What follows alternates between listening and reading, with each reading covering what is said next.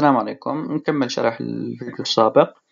آه، بالفيديو السابق حلينا مثل هذا السؤال ولكن كان بنظام ال SI unit هسه بنحله بنظام British unit نفس السؤال نفس النص ونفس كل إشي نفس الكتابة بس المتغير عندي القيمة هاي. مش متغيرة هي؟ ترى نفسها يعني هاي لما تحولها راح تطلع ترجع تطلع معك تسعة ثمانية واحد كيلو نيوتن على متر مكعب. Specific weight of water نفس الإشي قال لي إنه ال gamma specific يعني gamma لل water اثنين وستين point أربعة pound لكل feet تقريبا كثير نبهت كثير نبهت وحكيت إنه إحنا إنه إحنا لازم نركز على الوحدات قبل كل اشي ان ال gamma water specific gravity لل mercury 13.56 specific gravity لل water دائما واحد لا تفكر. هي specific gravity. وجد ال density وكذا وكذا. المطالب الثانية أول شغلة بدي أحسب ال rho water فيش جاي تحسب ال rho water بس هو طالب يحسب rho water الثاني طالب أوجد gamma mercury rho mercury بدي أحسب rho water شو بحكي؟ بحكي إنه ال rho gamma على g وجاما بتساوي rho في g فال gamma كم؟ اثنين وستين. point أربعة. الجي كم؟ النظام إيش؟ pound الجاذبية اثنين وثلاثين point اثنين. feet تكعيب كل second يطلع معي تقريبا واحد. تسعة ثلاث سبعة واحد سبعة ثلاث ثمانية. إيش وحدة الكثافة بالنظام الثاني؟ بكل بساطة slug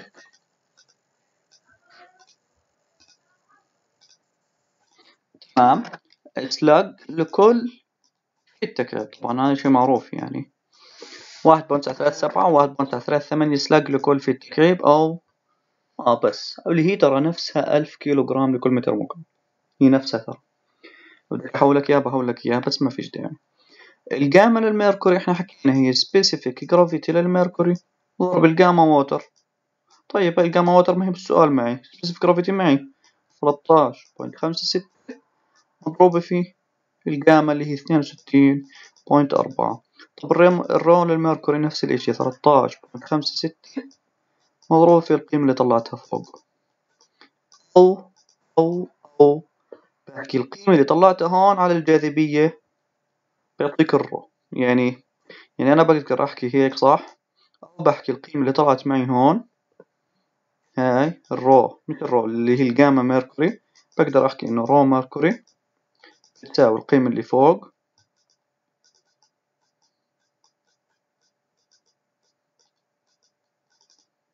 على و... آه على اثنين وثلاثين اثنين يعني زي ما عملت مع المي بعمل مع ال mercury. بس. وهذا اللي صار عندي هون. ال rho لل water هي الجاما الجاذبية. وال gamma لل mercury specific gravity في الجاذبية. في الجاما قصدي. وال rho لل mercury specific gravity في الكثافة. تمام؟ ركز على الوحدة slug نفس السؤال السابق السابق بس آه، الوحدات مختلفة. بعض سؤال كثير كثير مهم وفي استنتاج جدا مهم. يقول لي body weight 1000 pound force 1000 pound force يعني هذا وزن يعني. أو force يعني. وزن. وزن 1000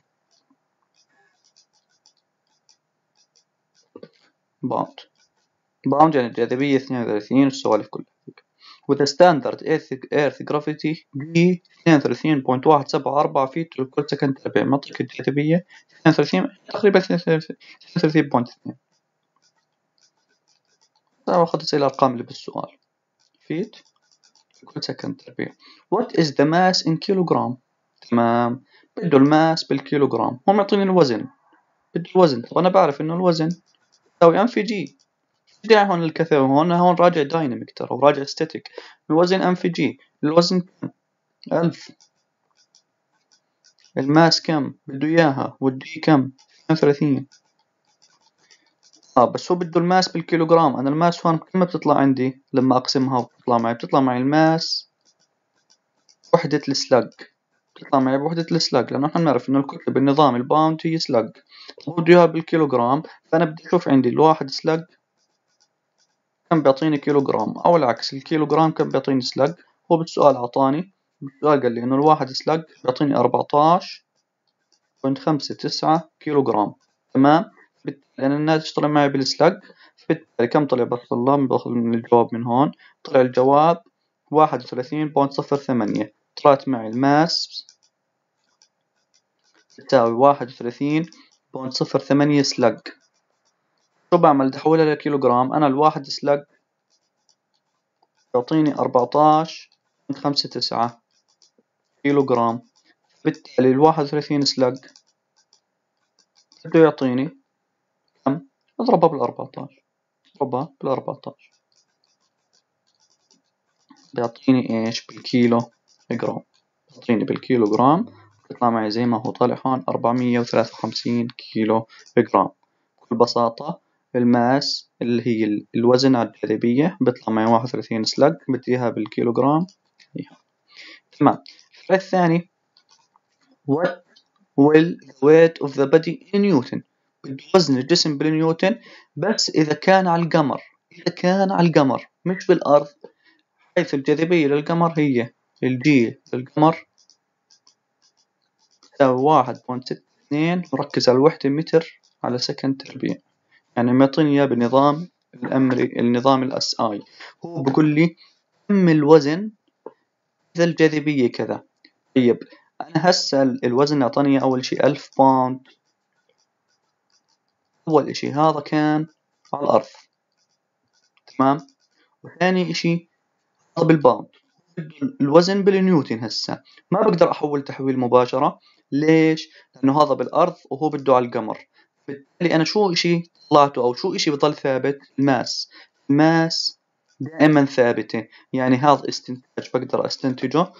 إنه الكتلة دائما ثابتة وين ما كنت.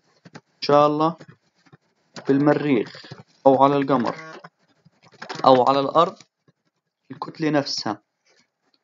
بالكيلوغرام نفسها بال slug بحولها أما الوزن بتغير عندي حسب وين أنا.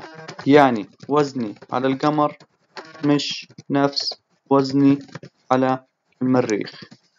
تمام بالتالي أنا ال mass اللي طلعتها بالفرع الأول وإيش طالب مني ال force أو الوزن؟ طالب مني إياه بالنيوتن. يعني بالنيوتن يعني كيلو جرام أعطاني طلعت معي ال mass أربعمية وثلاثة وخمسين كيلو جرام هاي بضربها بالجاذبية للقمر واحد point ستة اثنين. يطلع معي الوزن يطلع معي الوزن عند القمر. إذا بدي الوزن بالمريخ بضرب جاذبية المريخ في الكتلة. بدي الوزن على الأرض بضرب واحد في الكتلة في الكتلة.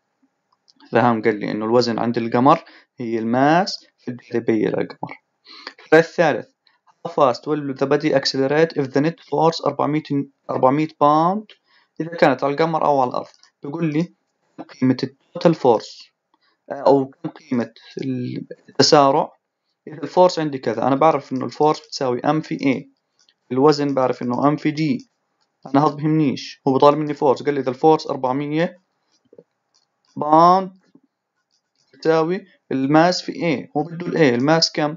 أنا طلعتها. واحد وثلاثين point صفر ثمانية slug وكانت بالكيلوغرام أو نيو هاي نيوتن بتحط ال 453 تطلع معي ال A 400 على واحد وثلاثين point صفر ثمانية. لاحظ إنه هاي ثابتة وهاي ال force أعطاني إياها. بالتالي التسارع عندي ثابت سواء كان على القمر ولا على المريخ ولا كذا. ليش؟ لأن الكتلة ثابتة والفورس أعطاني إياها. فبالتالي بستنتج شغلة بستنتج شغلة مهمة إنه التسارع برضه ثابت سواء كان على الجاذبية آه على الأرض أو القمر أو المريخ. كتلة ثابتة الإشي الوزن مختلف والسبب اختلاف الجاذبية. والسبب هو اختلاف الجاذبية.